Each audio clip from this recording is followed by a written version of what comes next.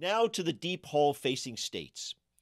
The pandemic has ripped a hole into every state budget in the country to the tune collectively of over $550 billion. That's more than half a trillion dollars in money that states don't have, which translates into millions of people losing their jobs and services being decimated that we rely on every single day. And it doesn't have to be this way.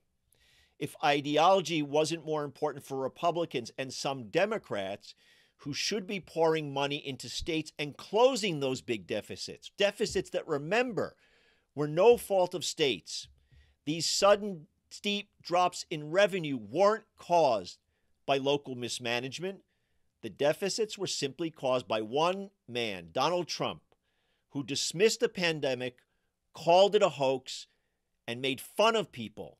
People who at that time knew, especially experts, medical experts, who knew that there was a building calamity.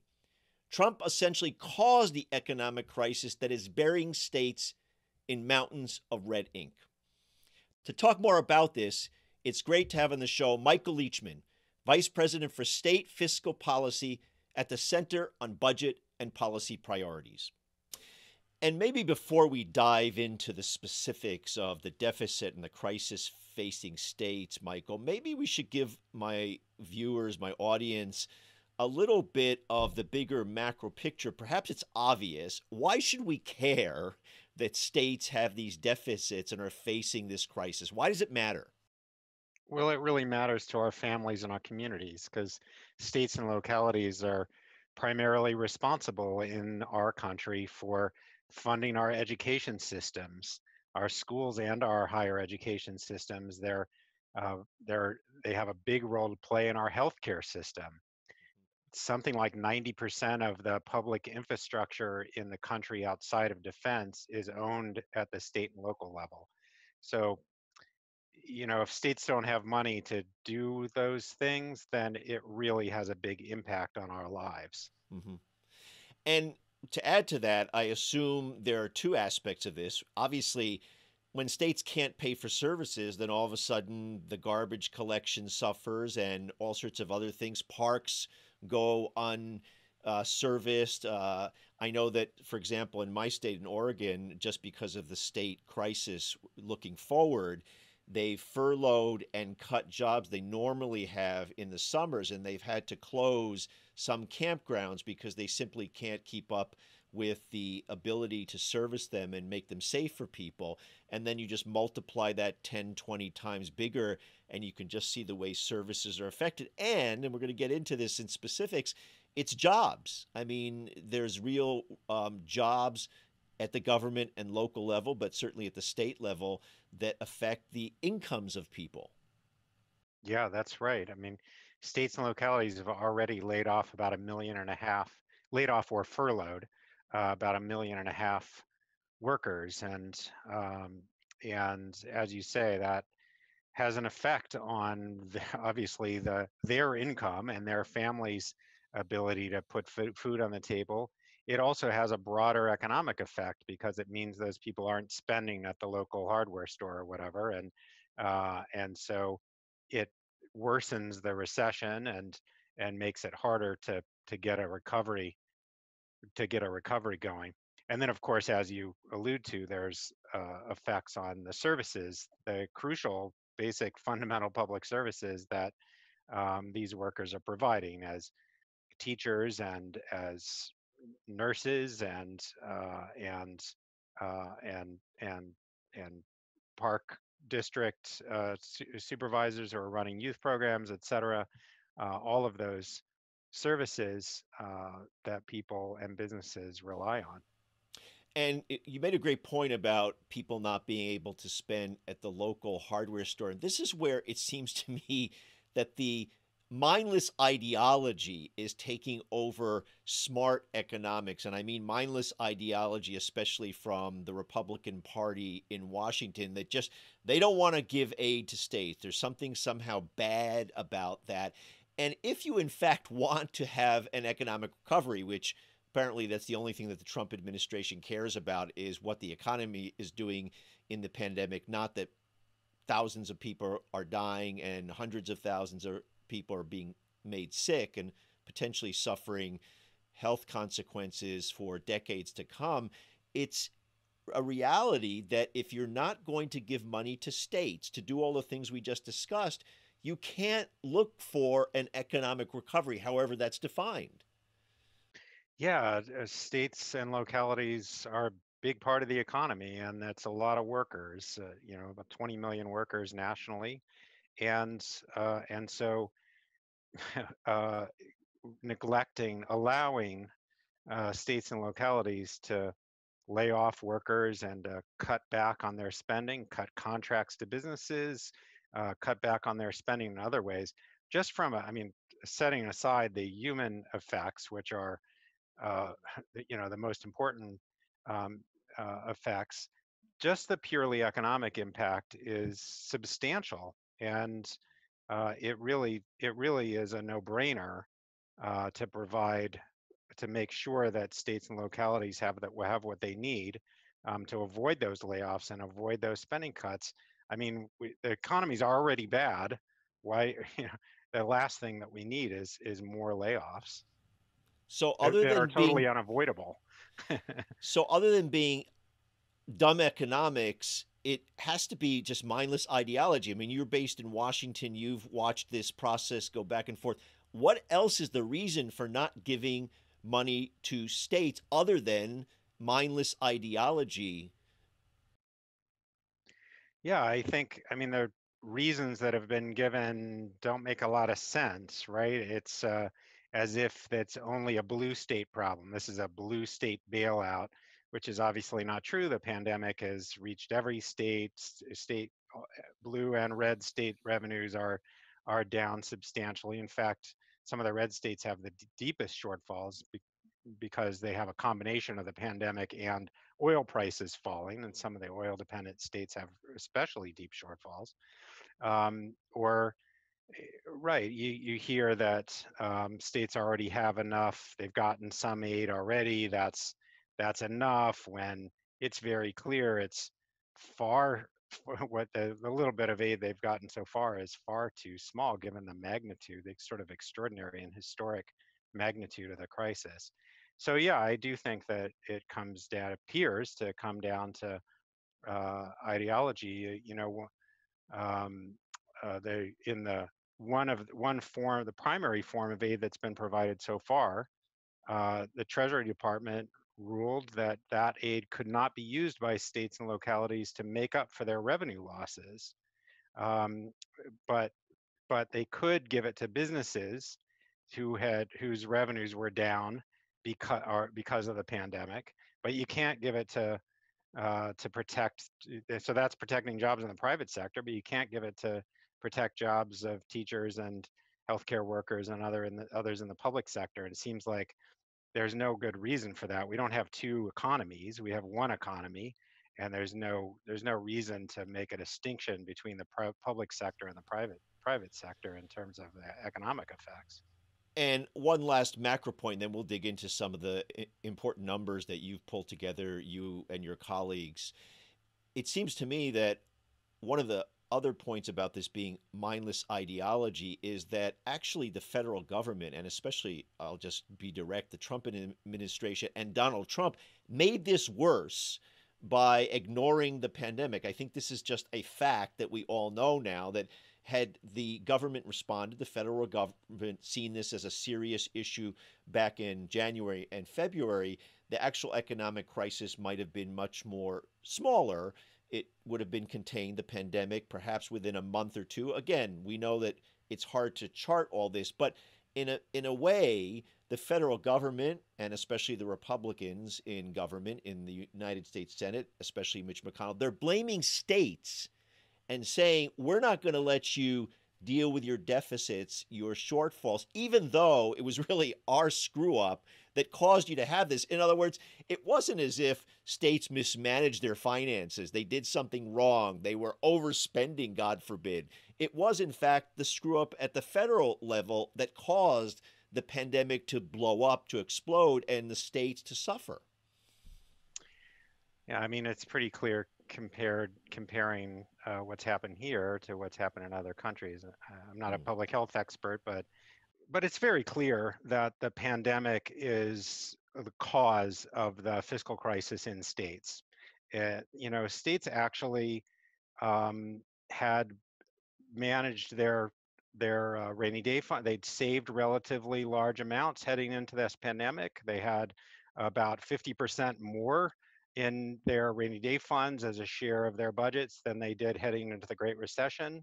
Um, spending general fund, state general fund spending as a share of the economy was significantly below where it had been heading to the Great Recession. Um, their unemployment insurance trust funds were most in most states were met the Department of Labor standards for being prepared for a recession.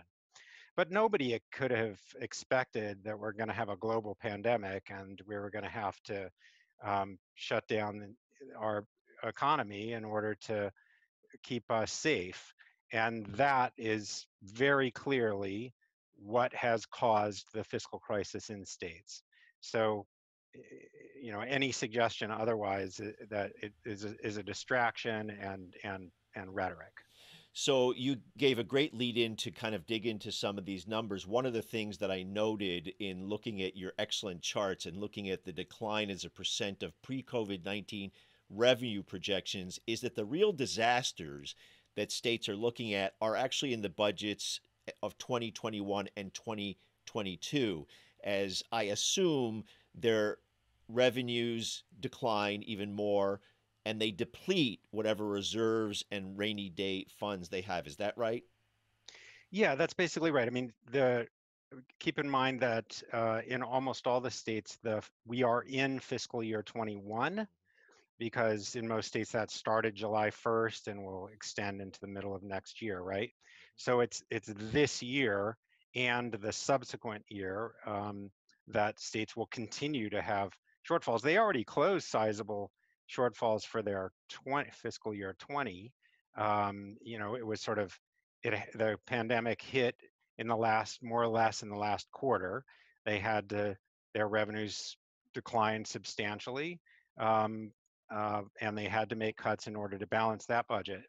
But now they're looking at a fiscal year where their revenues are way down.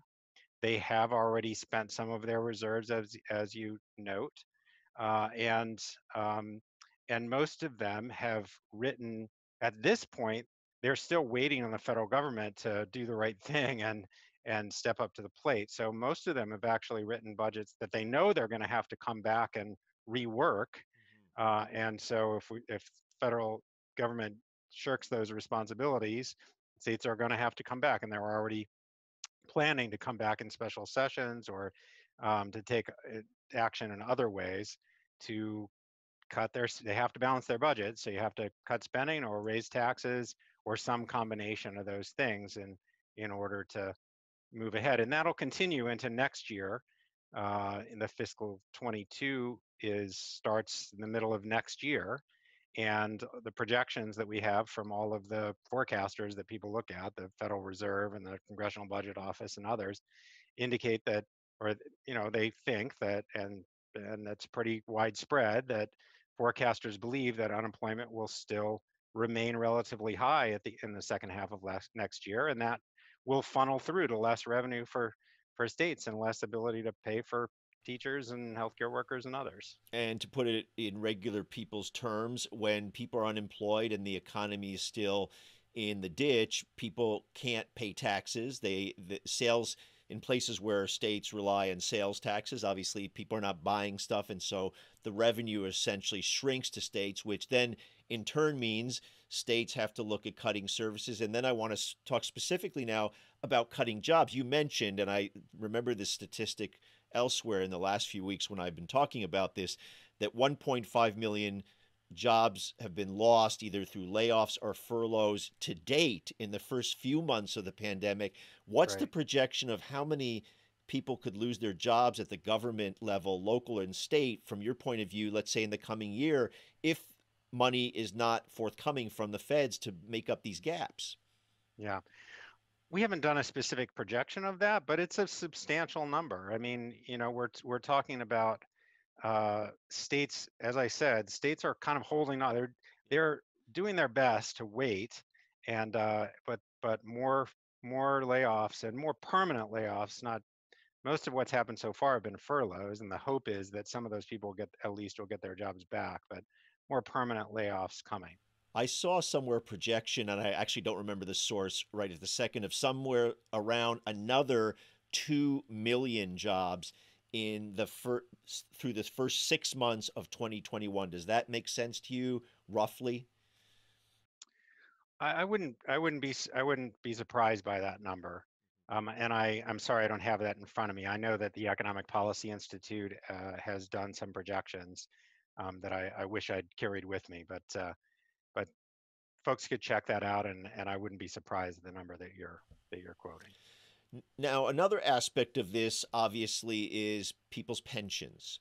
And what's interesting to me is there's not been a whole lot of conversation within this discussion about aid to states about the way in which pensions have been hit for public employees and retirees. And again, if you're thinking about down the road economics and having the economy retire, when retired people and people retiring now or say in the next few years they don't have money coming from their funds. And if those funds are depleted, especially in, in situations where pensions are not defined benefit pensions, but defined contribution pensions, meaning the defined contribution pensions are often tie, tied to where the stock market is. The concern is that people have lost again, retirees, money in their pensions in the same way that they lost money during the Great Recession. So retirees, public employees who've worked hard through no fault of their own, are getting hit again. Now, the stock market seems to have recovered a little bit, which is a whole other topic about how crazy that is that the stock market seems to be operating completely separate from the reality of actual people. Let's put that aside. But the truth is that people continue to get hit in their IRAs and what they're relying on, and public pensions are a fundamental part of that. Yeah, absolutely. I'm uh, related to that. It's it's a real concern that states whose revenues are really squeezed will um, will turn to cut back to, to cuts to benefit yeah. cuts. That's certainly what happened in the aftermath of the Great Recession. That um, you know the, the the fact that the states didn't have the revenue was then used as an argument to say, well, the only response here is to cut back on on uh, substantially on pension benefits, and you did see. I think I think every state had some kind of um, changes in their in their pension systems uh, over the last decade, and and in, in, and in general, that what that's meant is that for new employees, uh, the the pub pension benefits that are available to them are substantially weaker um, uh, than than they are than they were before the before the Great Recession hit. I want to weave in another aspect of this, another theme into how government cuts affect real people. And that has to do with racism, since we're in this moment in the country where, thank God, we're talking about racism in a much more explicit way, partly and largely because of the murder of George Floyd and the uprising in the streets. But government cuts and state cuts really affect people of color disproportionately from white people, and in two ways. And I want you to comment, first of all, on this one, which is that disproportionately people of color, especially African Americans and Hispanics, have government jobs. And in part, that's largely because if you were African American, you tried to get in the private sector, racism was a serious block to that. At least in the public sector, affirmative action and somewhat of a more transparent process happened so that African Americans and Hispanics were able to get government jobs when they were blocked from getting fair employment in the private sector. So, for example, as I remember the statistics, I wrote them down 20% of African Americans uh, hold government jobs, meaning of government jobs, 20% are African Americans. And for 10% are Hispanic. So there's a certain there's a large part of racism that weaves through government cuts, right? Yeah, absolutely. And and in addition, the cuts that typically happen fall hardest uh, on uh, on the, on families that are struggling the most. And because of historic racism and ongoing forms of discrimination and bias, those people are disproportionately people of color. Uh, and and and um, and so it's not just the cut. I mean, we already have, for instance, uh, a school school system nationally where uh, where schools that are attended disproportionately by children of color receive less funding than uh, than schools that are that are more heavily white, and so cuts for for schools that are already underfunded and for kids that need more support because of this environment that we've created through our policies, um, you know, that the pain is felt the most. There's a, there's a whole range of other uh, damaging effects. I mean, another thing that happened in the aftermath of the Great Recession is that we funded in funding our courts and our police systems, we shifted away from using general taxation more heavily to criminal legal fees and fines. So we saw this play out in Ferguson, Missouri, for instance, where the police department was um, was uh, raising significant amount of their revenue and and was being told to raise revenue by you know going out and getting fees from people who had a hard time affording it. It's it has all kinds of damaging effects. People end up getting locked up just because they are you know uh, don't have the money to be able to pay the fine. It ends up having all kinds of uh, deleterious effects. And I want to circle back to a point that you made and, and kind of underscore this.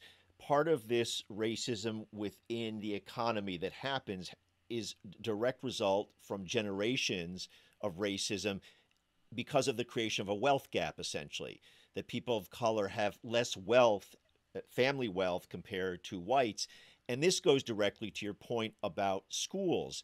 And your colleague Nicholas Johnson wrote a terrific article about that, which he talked about racial inequities. And he focused on specifically schools. And I'm just going to quote from his paper that cuts in state funding for example, force K 12 public schools to rely more heavily on local funding, which comes mainly from property taxes.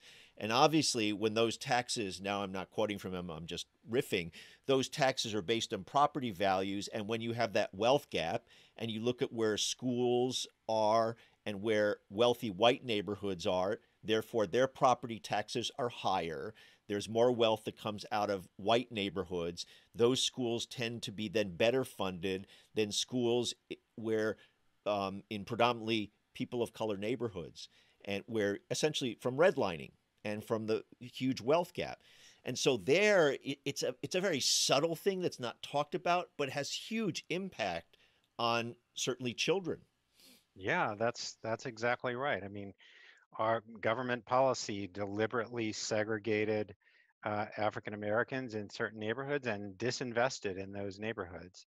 And so, yeah, you, you end up, and and uh, you know the way the market works, there's there there's uh, you know more white people who don't want to live in the, in the black neighborhood, then the value of those properties is going to um, be diminished. You know, that's that's that's another that's another part of it. And and because we've never come to terms with that or dealt with that directly in our policies, we are still in a situation where um, many of those same neighborhoods don't have the the property wealth that uh, that white neighborhoods do. So there's a there's a direct effect on wealth, and as you say, that funnels through through uh, school funding to the education that children in those neighborhoods receive. I'll say one other thing, one other aspect of that is that we have a property tax assessment system that often has racially discriminatory effects, um, you know, because it doesn't consider the factors that we were just talking about. And um, so often you're just looking, you're just looking at the sort of the square footage of the house or that sort of thing, and you end up over assessing uh, for property tax purposes the value of a home in a in a low income black neighborhood compared to a um, you know a higher uh, a middle income white neighborhood so you you sort of getting on both sides the value of your house is lower because of those policies and your your your tax assessment results in higher higher taxes than would otherwise be the case Mm. So here's my wrap up question for our conversation. I tend to be an internal optimist, and even in a pandemic, in the situation we're in, I have a certain amount of optimism in this way that coming out of this pandemic, millions of people, I think, will realize how corrupt and dysfunctional our economic system is, not to mention our social system. And I wonder if then there's a conversation to be had about how we restructure our economic system to make a much healthier society. And it's specific to this question about state funding, not to take away at all the problems of state funding directly related to the pandemic. And the notion that the federal government should put billions of dollars into state and localities, doesn't this give an opportunity to say, wait a minute, shouldn't we be, in fact, taxing rich people higher in states at state levels?